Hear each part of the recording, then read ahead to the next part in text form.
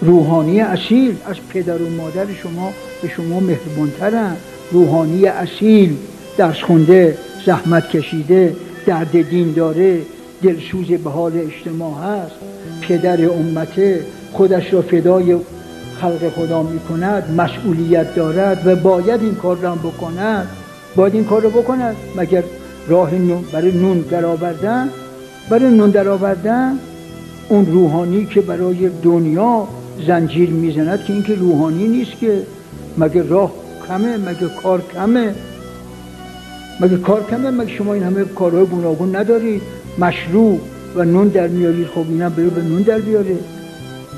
نعوذ بالله که منبر و محراب برای درهم و دینار باشه برای دنیا باشه برای هوا و هوس نفسانی باشه.